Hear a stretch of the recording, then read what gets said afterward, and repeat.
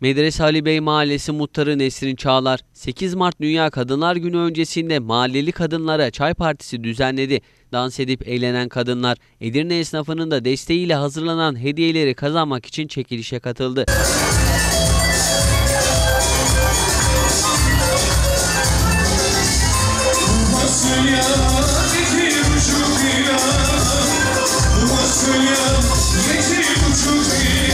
Muhtar Çağlar, dünyadaki hiçbir canlı kadınlar kadar güçlü değil dedi. Bizler mahallemize hizmet için geldik.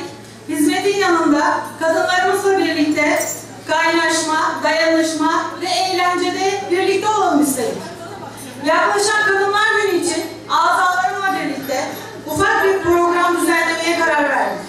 Umarız ki sizlerden beğeni alarak bu organizasyondan memnun kalırsınız.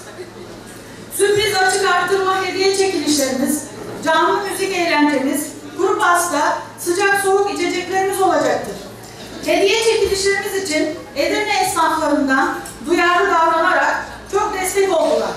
Yaklaşık 70-80 esnafımızı gezdik ve hepsinden çekilişimize hediyeler aldık. Şu anda zamanımız kısıtlı olduğundan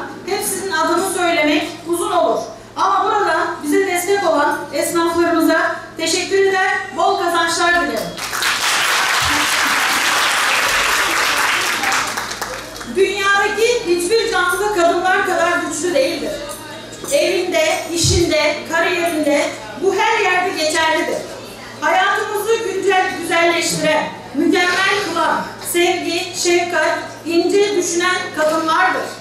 Kadınların özgür olabildiği, kadına saygının olduğu, şiddet ve ölümlerin son bulduğu bir yıl olması dileğiyle bizlerle birlikte olduğunuz için hepinizi saygıyla selamlıyor,